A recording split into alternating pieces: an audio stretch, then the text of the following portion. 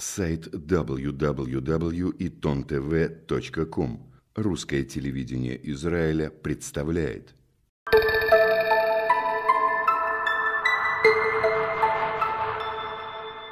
Здравствуйте, друзья! Мы с вами на канале Итон ТВ в программе «Особая папка». Меня зовут Марк Горин, со мной в студии мой компетентный собеседник Яков Кенми. Здравствуй. Добрый. Э, Весь мир взбудоражили события на Украине. Э, Или в Украине. Что трапилось, как говорят сами украинцы? Что случилось? Чего это они вдруг? Во-первых, по русской грамматике э, и на Украине, и в Украине это равнозначно. Там есть нюансы, Э, не будем сейчас По давать. русской грамматике можно говорить так и так. Там- Так это э, в последние 300 Если лет. ты это хочешь политического спора, на самом Не, деле, то, что э, отдельно, то вы. Я еще то, раз- что я еще раз говорю. часть, то на. По русской грамматике специалистам по русскому языку в России и 200 лет назад, и 100 лет назад сказали, что равнозначно употребление как у- в Украине, так и на Ну да, Украине. мы больше так что, привыкли. Так что, так что э, не украинцы будут говорить, как надо говорить на русском языке, так же как русские не будут говорить украинцам, как говорить на украинском Тоже языке. согласен. В, отнош- в, другом, э, в другом смысле, а кто сказал, что мир взбудоражен? С каких пор это э, и Гупецка, Срыловка, и пригороды Лондона – это весь мир? Миру на Украину, по большому счету, наплевать. Вот так, да. Полностью и окончательно. А там Евросоюз, Евросоюз. еще раз говорю, это и- Евросоюзу тоже на Украину наплевать. Как было раньше, так будет и завтра. Ситуация, она... И это она- вроде всё и ситуа- произошло. Ситуация, С ситуация, Евросоюза-то и началось вроде. это не началось с Евросоюза, это началось с Украины. Проблема это, что такое Украина. Что такое Украина?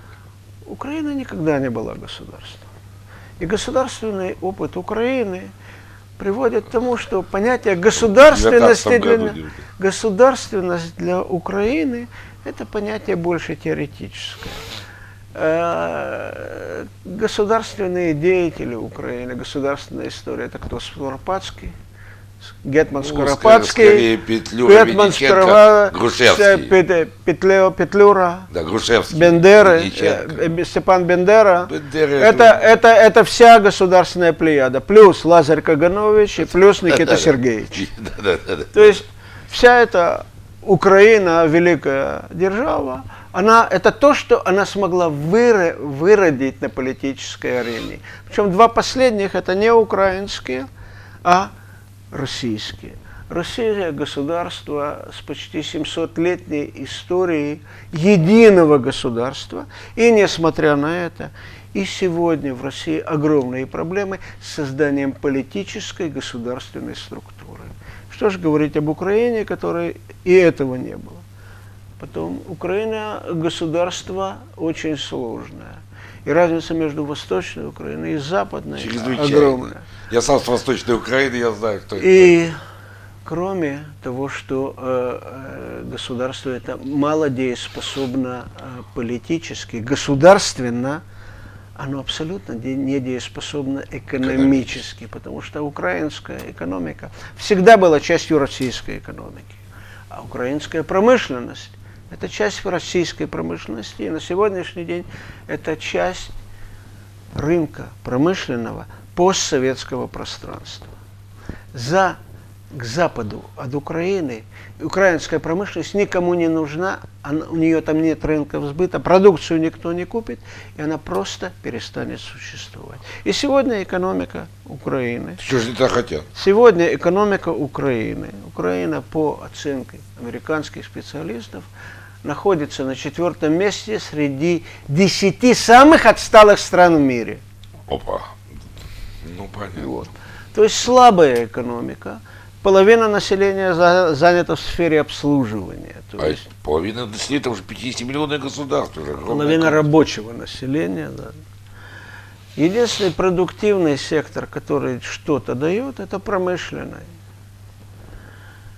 Но э, любое государство э, может развиваться при двух условиях. Стабильность политической ситуации, которая может решать экономические проблемы.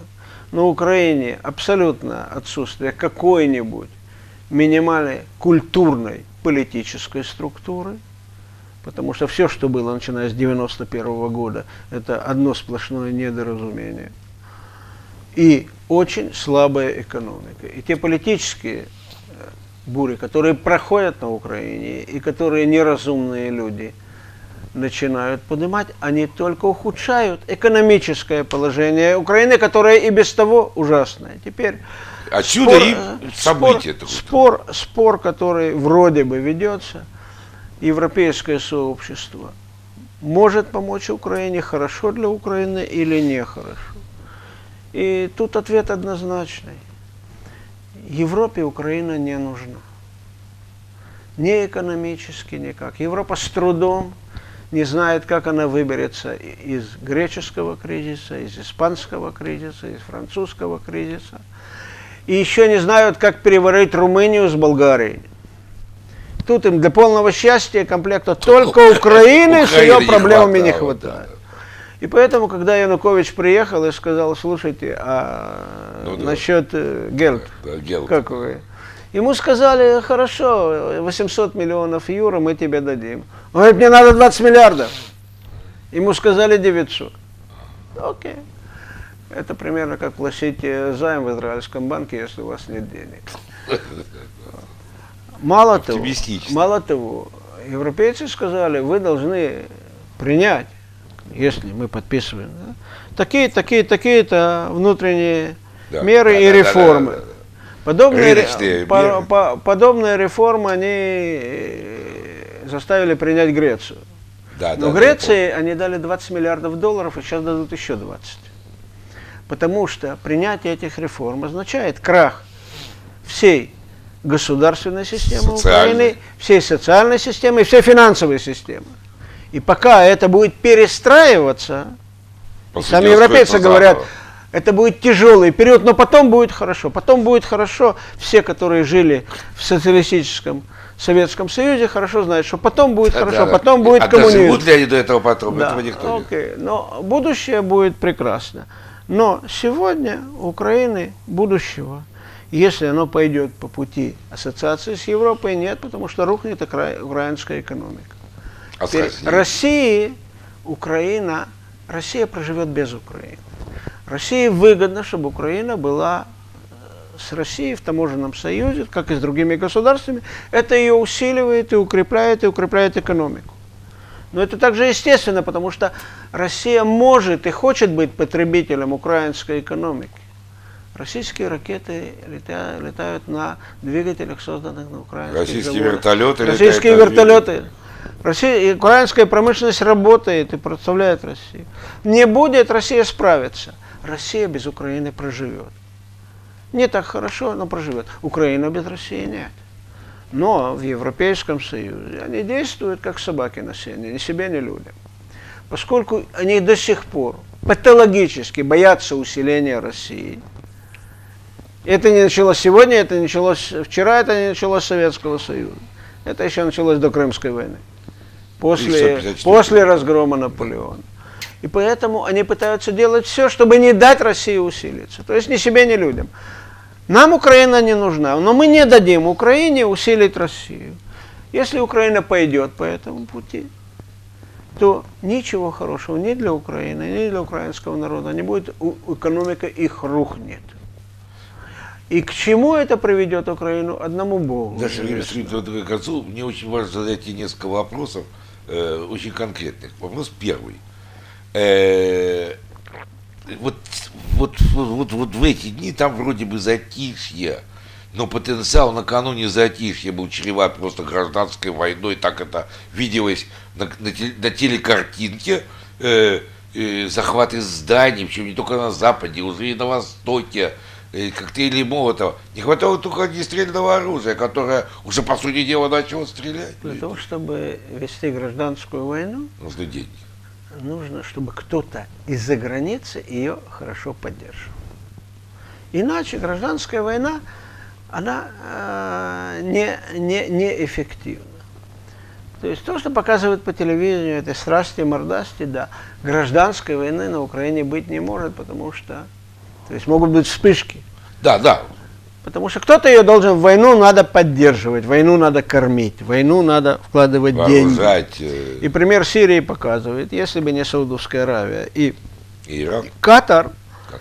тогда бы не было гражданской войны в Сирии, потому что не было бы кто даст деньги тем, которые заинтересованы в этой Окей, войне. э, Так что войны не будет. Но разваливаться, как это было на Украине в 18-19 году, когда это была независимая Украина, и тогда тоже разваливалась без всякого Вот участия большевиков. Ты считаешь, что развал Украины по линии э, Восток-Запад, либо федерализация Украины на региональных таких штатов, Федерализация не решает экономических проблем.